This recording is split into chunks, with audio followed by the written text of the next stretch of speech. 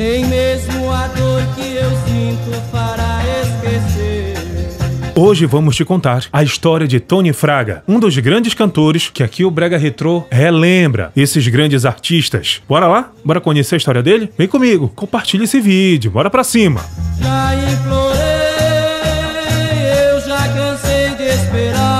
Olá, meus amigos, eu sou o DJ Daneri e hoje vamos relembrar a história de um dos maiores cantores e compositores da Jovem Guarda. Estou falando nada mais, nada menos do que Tony Fraga. Já vai logo deixando o seu like, se inscreve no canal, ativa o sininho das notificações, compartilha no grupo da família, no WhatsApp, no Facebook, no Instagram. Rapaz, faz tudo, faz tudo. Bora, bora, bora, bora, bora. Já implorei, eu já cansei de esperar.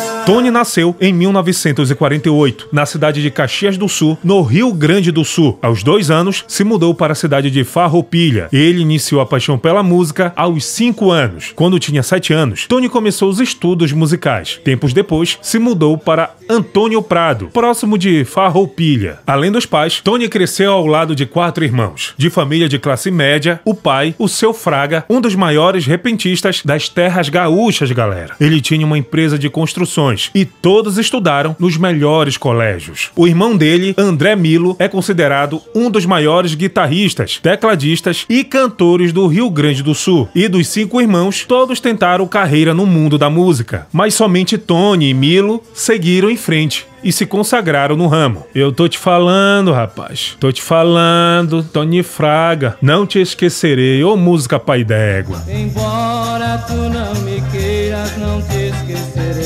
No rádio, Tony curtia ouvir Tonico e Tinoco, Dolores Duran, Pedro Raimundo, Ângela Maria, Nelson Gonçalves, entre tantos outros artistas já conhecidos no Brasil. Tony conta que uma música que era a preferida, A Noite de Meu Bem, de Dolores Duran. Segundo ele, essa canção deu inspiração para ele seguir na carreira como cantor e compositor e se apaixonar pela Jovem Guarda. Se você não sabe, Tony foi o primeiro cantor gaúcho a cantar e fazer sucesso na Jovem Guarda, ao lado do conjunto Os Brasas. Tony se apresentou ao lado de diversos cantores do movimento. E como Roberto Carlos era conhecido como O Brasa, Tony foi apelidado de O Brasinha Gaúcho. Tchê. Como Tony teve formação musical em piano, acordeão e canto, ele pegava fácil qualquer música de todos os estilos. Incentivado artisticamente pelo pai, foi levado para Porto Alegre, onde começou a cantar em programas de rádio e televisão. Rapaz, mano, ele tinha 15 anos quando participou da Van Premiere, da TV Tupi local local. Programa Clube do Guri, da TV Gaúcha. Atualmente RBS. TV Difusora. TV Guaíba. Atualmente Record. A Pastone define que a música foi algo que veio de nascença. Ele conta que respira música e que é música em todos os sentidos. Um fato importante na vida dele foi a esposa de Tony. Vejam só como as coisas são. Ele conta que estava fazendo um show e a mulher dele, até então uma completa desconhecida, foi levar a irmã para assistir uma apresentação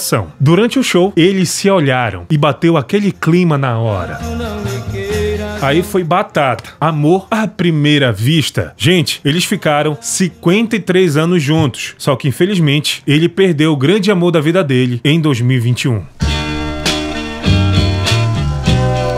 Vamos falar agora dos sucessos dele, que é isso que a gente gosta de ouvir. Não Te Esquecerei foi o primeiro e o maior sucesso da carreira dele, galera. Foi, com certeza, essa música no Baile da Saudade, todo mundo recorda. Ela tem mais de 30 regravações por outros cantores. Foi a primeira canção gravada e marcou o resto da trajetória musical de Tony até hoje. Inclusive, essa canção ele sempre dedica ao grande amor da vida dele, a esposa, com quem teve quatro filhos, 12 netos e seis bisnetos. Mas a gente destaca para vocês outros sucessos como Foi Melhor Assim, Amor em Segredo, Espera Você, Querida, Se Você Voltar, 6 Horas da Tarde, Já Te Esqueci, entre outras canções que marcaram aquela velha lembrança de quem curte até hoje o som do nosso grande amigo Tony Fraga. Deixa eu mandar um grande abraço pra esse cara, porque um cara fora de série, um cara humilde, compõe pra caramba. É um grande artista, completo. Meu grande amigo, Tony Fraga, aquele abraço para você, meu irmão. Aí no Rio Grande do Sul. Meu bem,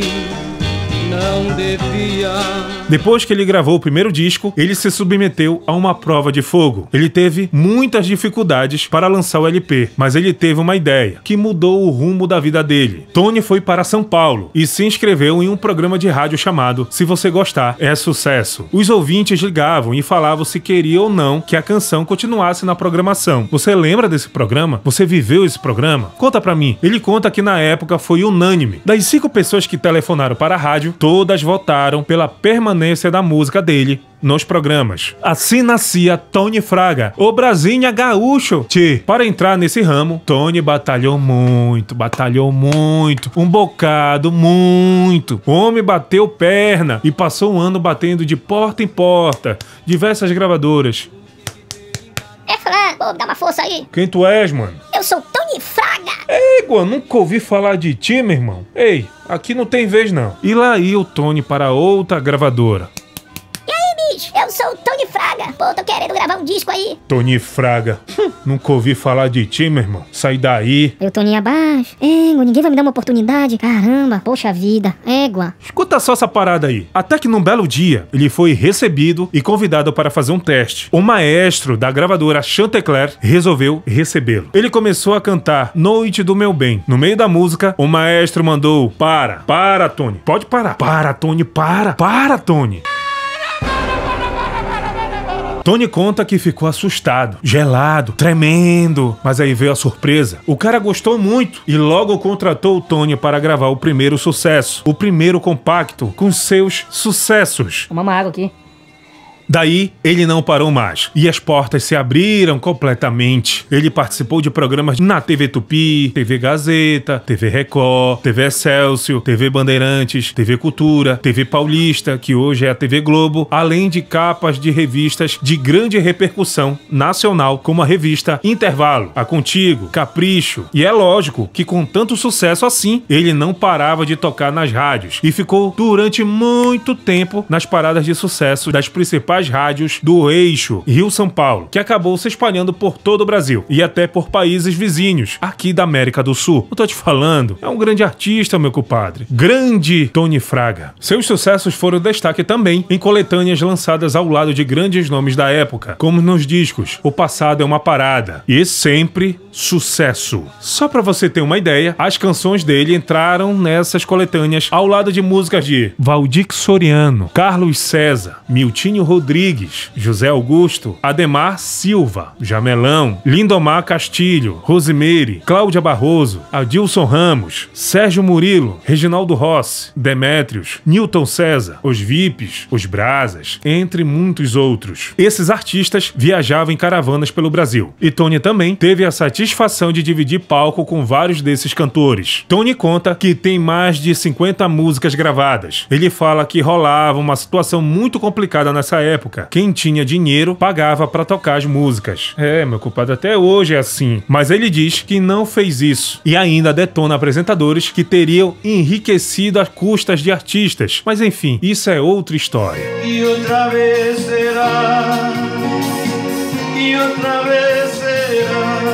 Atualmente, ele tem estúdio de gravação, atua em criações de jingles promocionais, políticos, produz discos e também atua como Tony e seus teclados, com shows de jovem guarda e shows beneficentes para ajudar aqueles que mais precisam. Olha só, coração bom. Após gravar diversos discos nas décadas de 70, 80 e 90, nos anos 2000, gravou um CD e resolveu parar. Escolheu ser feliz e viver ao lado da família, na cidade de dois irmãos, no Rio Grande do Sul, no condomínio de sítio de propriedade da família. E assim Tony Fraga vai tocando a vida, grande artista. Mais uma história vai chegando ao seu final. Tony, aquele abraço pra você, meu irmão, você merece. Você é um grande artista, batalhador, cara que eu tenho imenso carinho. Você sabe disso. Gente, Tony Fraga, grande artista que fez muito sucesso na Jovem Guarda. Tá aqui ele, tá? No nosso telão. Eu tenho orgulho de ter amizade com esse cara aí. Muito humilde. É um cara que tem um talento gigantesco. Gente, ele compõe uma música muito bem. Você que precisa de composições, é só entrar em contato com o Tony. Ele pode ajudar você. Tô falando, tô falando, rapaz. O Tony é, é um cara artista completo. Tenho, tiro o chapéu pra ele. Muito criativo, compõe muito bem. Músicas de amor. Você sabe que música boa nunca sai de moda no Brega Retrô. Até o próximo vídeo. Eu sou o DJ Daneri, a voz das músicas românticas, a voz do Brega no Brasil. É, pode me chamar do jeito que for. Eu sou um apaixonado por essas músicas do passado. Até o próximo vídeo. Valeu.